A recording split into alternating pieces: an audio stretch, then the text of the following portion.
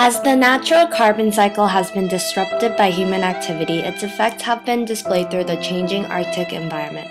But precisely how have our activities on Earth affected areas all the way on the extreme ends of our globe? How do greenhouse gases and the greenhouse effect affect our environment to produce such drastic changes?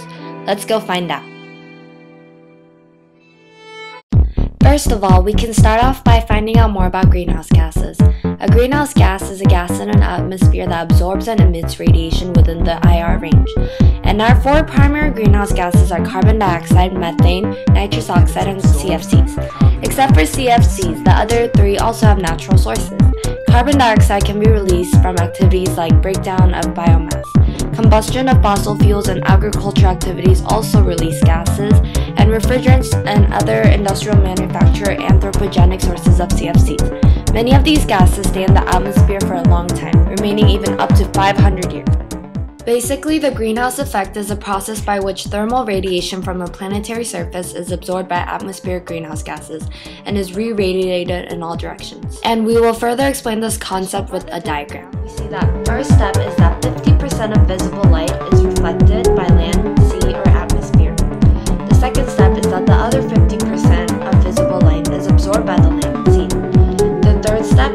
visible light is released by the Earth as IR, which is shown by the line here.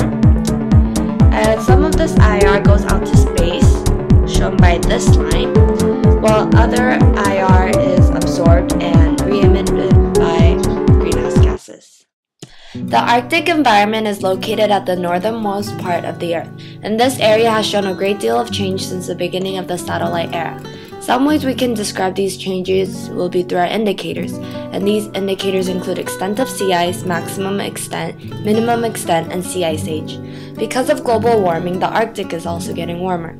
Research has shown that average annual temperatures in the Arctic have increased by approximately double the increase in global average temperatures. Sea ice is decreasing, the age is getting younger, and is covering less area. Maximum extent is reached later than before, and the minimum extent is reached earlier than normal. Also, due to the change in the habitat, many animals have also suffered from the consequences. Melting sea ice caused erosion and coastal inundation, and therefore is affecting populations of marine animals, caribou, polar bears, and the people that depend on them.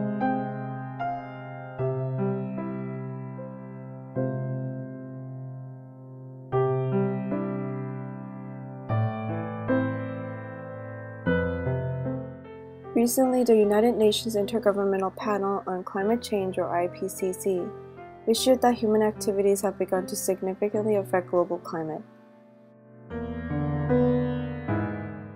IPCC also suggested that the rate of the future warming will be greater than any seen in the past 10,000 years. Greenhouse gases are produced by human activities. Due to an increase in the temperature, the ice caps in the Arctic will melt and animals will suffer from starvation due to lack of food. Burning of a fossil fuel is a significant example of human activities which produce greenhouse gases. This leads to a dramatic increase in the concentration of carbon dioxide.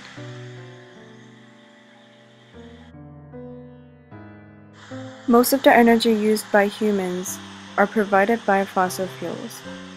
Fossil fuels are burned to obtain energy and during the process releases carbon dioxide. So it is clear that human activities are great contributors of greenhouse effect which affects the changes in the Arctic ecosystem. Whether human activity is solely responsible for changes in the Arctic system will be debated by scientists, but for now, we believe that our activities like combustion of fuels have been affecting the Earth as a whole. These effects have been shown on our Arctic environment, and for now, we could all work on helping our world.